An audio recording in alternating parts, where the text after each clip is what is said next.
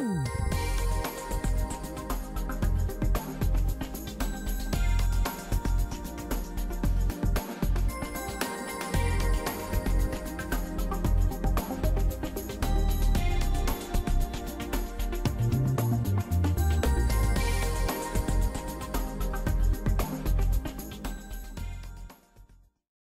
간밤 전 세계 이목은 미국에 쏠렸습니다. FOMC 회의 결과가 어떻게 나왔을지 주목을 한 건데요. 어, 보통 FOMC 회의 이후에는 증권사에서 채권 담당 애널리스트가 가장 바쁩니다. 새벽에 밤잠을 설치고 회사에 나와서 보고서를 쓰시고 분석을 하는데 아, 무려 이런 시간에 저희 방송에 직접 출연을 해서 FOMC 회의 결과를 따끈따끈하게 분석을 해 주신다고 해서 너무나 귀한 시간을 마련을 했습니다. 자, 메리츠 증권의 채권 담당 윤여삼 베스트 애널리스트 모셨습니다. 어서 오십시오. 네, 안녕하세요. 아, 정말 감사합니다. 네, 소개가 너무 거창해서 부담스럽습니다. 아, 아니, 어제 새벽 4시에 출근하셔서 보고서를 쓰고 나오셨다면서요. 네, 6주에 한 번씩 저희는 이제 마법에 걸리죠. 네, 그러니까요. 그게 오늘이라서 네. 예, 정말 그 연구원님의 가장 따끈따끈한 분석을 저희가 가장 먼저 들을 수 있게 돼서 정말 영광입니다. 아, 감사합니다. 감사합니다. 네. 어땠어요? 이번 회의 결과에서 가장 아 이게 이런 게 좀 특이했다, 특이 사항이 있- 있었다라고 했던 이슈가 뭡니까? 뭐 최근까지 파월 의장이 이제 뭐 금융시장과 소통할 수 있는 기회에서는 너무 겁먹지 마라. 인플레이션을 일시할 거고 여전히 우리는 시장 친화적이니까 걱정하지 마라. 뭐 테이퍼링에 관련된 논의들도 아직까지는 거론할 단계에 대해서 신중한 입장들을 고수해 줬는데요. 오늘 회의 결과는 예상했던 것보다는 제가 쓴 보고서 제목이 매 그림자 정도는 드러났다. 뭐 아직 발톱까지도 아닙니다. 그림자 정도 드러났다는 게 예. 전체적인 성명서 톤이나 파월 의장이 금일 했던 발언들은 예. 점도표가 지금 23년 값이 예. 원래는 23년까지는 영준이 제로 금리를 유지해 줄 거라고 지난 회의 3월 달까지는 약속했던 거잖아요.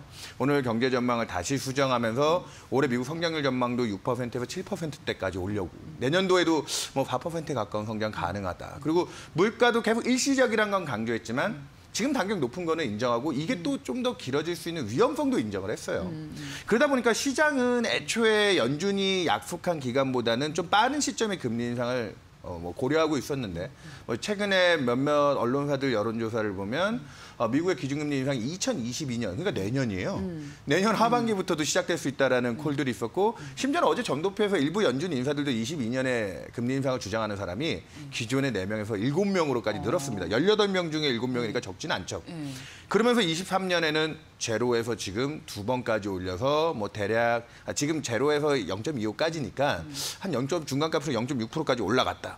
이것만 놓고 보면은 굉장히 충격이고 실제로 미국 10년짜리 국채 금리가 FOMC 시작하기 전에 한 1.48% 정도 그 정도 수준이었다가 1.58로 한 10bp 가까이 그러니까 전일 종가로는 한 8bp 올랐는데 오늘 들어와 보니까 지금 아시아장에서는 1.6을 향해 가고 있더라고요. 그러니까 채권 시장에도 충격이 들어오고 있고 전체적으로 올해 어 1분기부터 받았던 금리의 스트레스가 있었잖아요, 사실은. 네, 네. 그거에 대한 또 악재가 더해지지는 않을까. 우려하는데 미국 증시는 생각보다 많이 떨어지지는 않았어요. 네.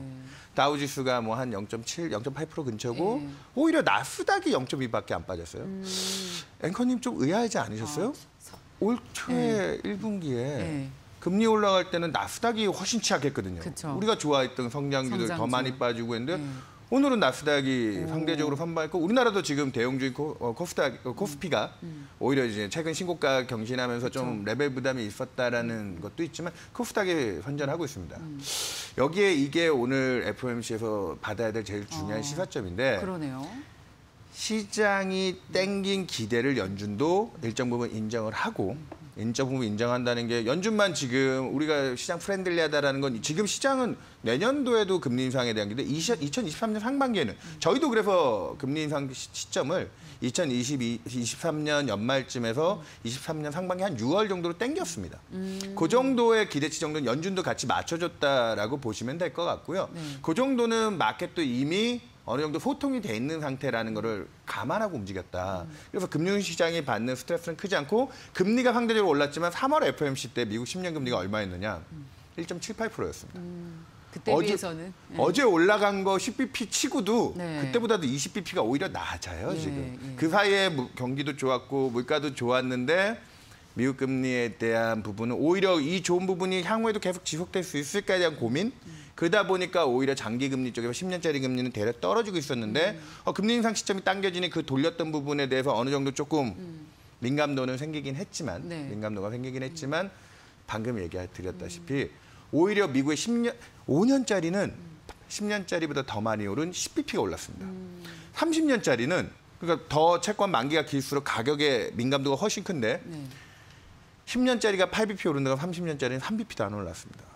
이게 중요합니다. 진짜 뭘 의미하는 걸까요? 이게 중요한 게 네. 더긴 쪽에서 가격의 민감도가 높은 장기 금리가 덜 오르고 5년짜리 단기 금리가 더 많이 올랐고 심지어는 아직까지 기준금리가 뭐 그래도 23년까지 가느냐 마느냐를 놓고 싸울 때 2년짜리 금리도 어저께 5bp나 올랐습니다.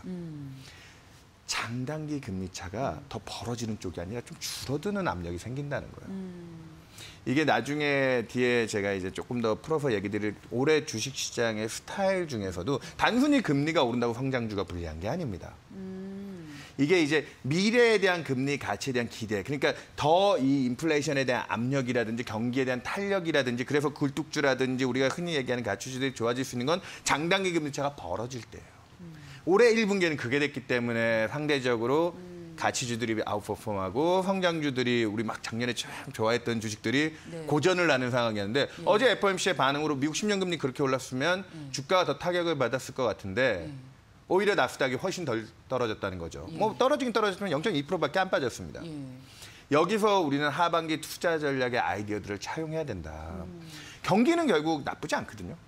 경기가 좋으니까 통화정책 정상화 시점으로 땡기는 거고 뭐 인플레이션에 대한 어, 인플레이션 일시적으로 작년에 저체온증이었던 경제가 지금 막 여러 가지 약을 맞으면서 처방 받아서 이제 체온을 조금 어, 올라온 오버 좀 고열로 넘어가긴 했지만 쓰러질 정도가 아니라고 하면 그 약을 중단하는 과정, 뭐 테이퍼링도 그래서 9월쯤에는 확실하게 시점들, 뭐 계획들 명확하게 박아주긴 하겠지만 시장이 받는 스트레스는 생각보다 크지 않을 거다. 그래서 어저께 정도의 금리 반응이면은 주시장이나 위험자산들이 좀 흔들리는 건 당연합니다. 네. 하지만 기조가 바뀌었느냐라고 물었을 때 저는 그 기조에 큰 변화는 없다고 보고 있고요. 거기에 하나 중요한 게 제가 뭐 차트로 하나 또 들고 왔는데요. 네. 어, 아까 점도표들이 제시돼서 막 상향 조정된 차트들이 그림이 나간 걸로 봤는데 네. 두 번째 차트 보시면은 롱거런이라고 하는 연준의 장기적인 목표 수준이 네. 있습니다. 연준이 이제 최종적으로 연방금리 이 정도 수준이 가야 돼. 걔가 2.5% 정도 수준을 나타내고 있는데요.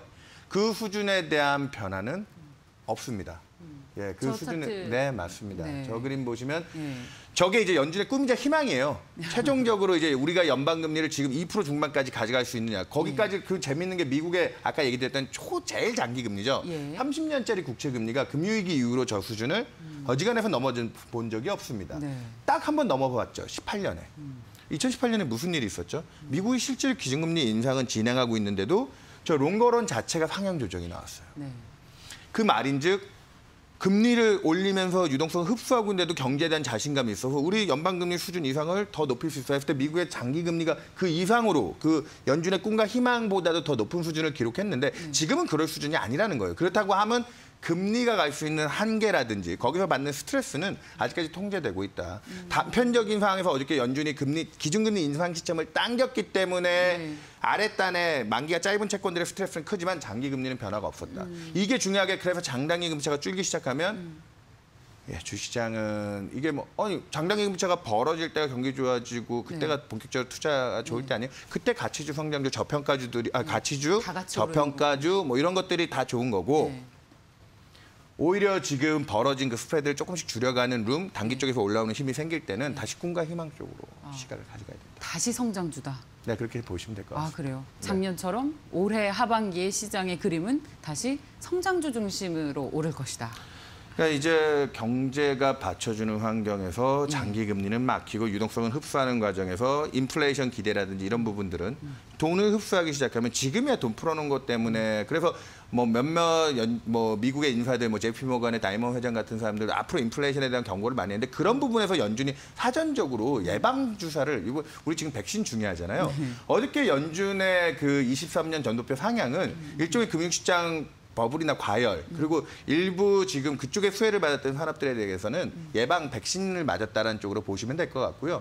그쪽에 대한 우려가 이렇게 전반적인 금융시장으로 확산되지 않는다고 하면 또다시 그 미래에 대한 성장성을 보는 쪽의 투자들이 장기적인 성장성이 딱 잡혀 있는 국면에서 스트레스가 잡혀 있는 국면에서 그쪽에 대한 금리 텐션만 없다면 예, 띠은 그렇게 바뀔 거라고 봅니다. 그렇군요. 사실 시장에서 계속 우려하고 있는 것이 다시 또 우리가 금리 스트레스를 받을까. 봐라는 것인데 어제도 보면 다 알고 있는 얘기잖아요. 네, 2023년까지 금리 올릴 거라는 것도 알고 있고 뭐 특별히 새로운 얘기가 나온 거라고 볼 수도 없는데 네. 시장이 빠진 것을 보면 여전히 스트레스를 받고 있는 것이 아닌가라는 우려를 했었는데 방금 앞서 얘기 드렸다시피 예. 음. 정확하게 스트레스는 있죠. 근데 미국 주가도 아시다시피 대부분 다 지금 음. 예, S&P든 다우든 아까 얘기 드렸던 지금 경기 좋은 데 국면에서 걔네들 다 신고점입니다. 네. 나스닥도 디니케이 지금 이제 막 꾸역꾸역 올라오면서 위험 선호 자체가 나쁘지가 않아요. 그 부분에서 이제 금리가 조금 올라오면서 밸류라든지 이런 부분에 대한 조정 정도는 나오지만 그래서 제가 올해 상반기에 출연했을 때 네. 그때 이제 이런 금리가 높아지는 국면에서의 시장 흐름은 일방향적이지 못하고 예, 어느 정도 일정 부분 변동성을 수반하면서 조정 정도를 가져간다. 다만 이런 변동성 장세의 추, 어, 특징 중에 하나는 뭐냐면 추세를 부러뜨릴 정도의 조정은 나오지 않을 거예요. 그러니까 지금도 올해 상반기에 미국 주식이나 우리나라 주식이 스트레스를 받아봐야 한 10% 내외 조정도 지금 제대로 나오지 않고 있거든요. 네. 그 흐름은 하반기에도 다르지 않을 거다. 예. 그리고 지수 자체는 위쪽으로 향하는 게 분명히 맞는 것 같고요. 예. 지금 이렇게 일반 이렇게 금리 민감도라든지 정책에 대한 민감도 나와서 예. 조정받는 구간은 아주 쉽게 얘기 드리면 살 기회 정도를 주고 간다라고 생각하시고 큰 기조는 바뀐 게 없다. 그리고 아직까지 당장의 눈앞에 뭐 우리가 지금 먹고 있는 파이를 뺏을 정도의 연준이 겁을 준 것도 아니다. 아까 그림자 정도 이제 나온 거예요. 네, 네, 네. 예, 그렇게 이해하시면 안될 가- 것 같습니다. 예. 발톱도 안 갔다.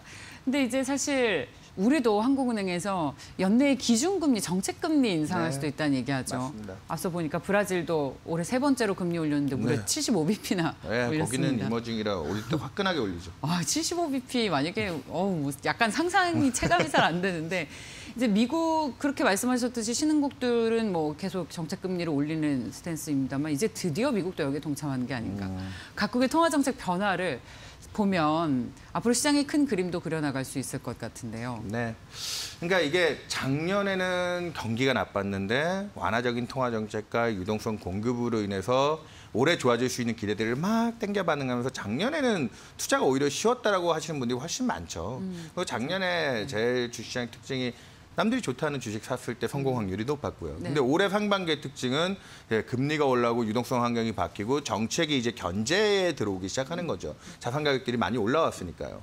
뭐 주가도 그렇지만 미국이 부동산 가격이 전년 대비 뭐 13%씩 올라가고 서울 아파트 가격도 뭐 전년 대비 두 자리 증가세를 나타내니 그런 데에 대한 견제들이 들어오면서 일정 부분 이제 변동성을 수반하게 되는 그 올해 특징이 상반기에 남들 좋다는 주식 하면 오히려 당하는 경우가 많았어요. 네, 네. 역발상적으로 투자를 해야 되는 구간이었는데 이미 이제 그렇게 해서 이제 단기 금리가 올라가기 시작하고 그 스트레스 그러니까 지금 단기 금리를 올리는 건 과열로 가는 경기 물가 자산 가격. 이거를 어느 정도 통제. 그래서 제가 아까 백신이라는 표현도 썼고 거기에 대한 효과를 나타내기 시작해서 사람들이 이제 또 그게 조금 이완적으로 들어가기 시작하면 이완적으로 들어가기 시작하면 네. 금융시장은 뭐 올해 굴뚝주들 좀 좋았던 부분에 네. 반대 작용으로 또 남들이 좋다라는 주식들 미래 꿈과 희망을 가질 수 있는 어. 주식들에 대해서 기대들을 많이 가져갈 겁니다. 제가 개별 종목을 얘기하기는 음. 예. 어렵지만 네. 우리나라도 보시면은 최근에 플랫폼 업체 1, 2위 업체들이 예, 네이버와 카카오 네, 제가 뭐 얘기하겠습니다.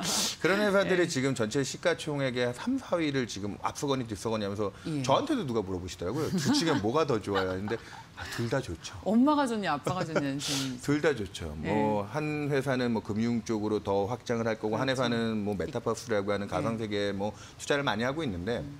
둘다 그런 미래 가치들을 생각하면 하반기에는 그런 주식들에 또 기회가 올 거라고 봅니다. 그리고 경기가 안정되고 좋아지기 때문에 또 환경 문제들도 얘기가 하고 있고 네네.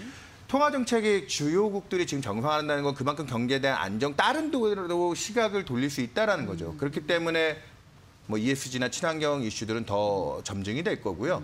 방금 얘기 드렸던 미래 혁신 산업들에 대한 투자들도 다시 얘기가 될 거기 때문에 시장 스타일이 분명히 이 금리가 단순히 올라온다고 어 그러면 상반기처럼 가치주가 좋아야 되는 거 아니에요? 단편적으로 생각하시면 안 되고요. 저 같은 사람이 오늘 나와서 뭐 금리가 1bp 어떻고 이게 중요한 게 아니라 뭐 단기 금리가 오르고 장기 금리가 안 오르고 이게 뭐가 중요하지라고 생각하실 수 있지만 그건 미래 가치들을 반영하는 과정이기 때문에 그 금리의 차이가 줄어드는 게 오히려 가치주가 되냐 성장주가 되냐의 더 중요한 포인트라는 겁니다. 제가 나와서 드릴 수 있는 얘기는 그 폭이 줄기 시작하고 그게 올해 1분기처럼 벌어지지 않는 국면에서는 테마는 다시 좀 변할 수 있다. 그래서 하반기에는 여러분들이 또 다시 어, 누가 뭐 주식 좋다고 하는 추천주들을 다시 관심 있게 볼 만한 조금 투자가 오히려 더 쉬워질 수 있는 아, 지금 이제? 백신을 맞는 거니까요. 이 금리에 대한 스트레스 받고 그리고 그렇게 해서 미국 10년 기준으로 제가 드릴 수 있는 얘기는 3월 달 고점이 1.78. 그 정도로서 9월 FOMC까지는 아마 확인을 할 겁니다.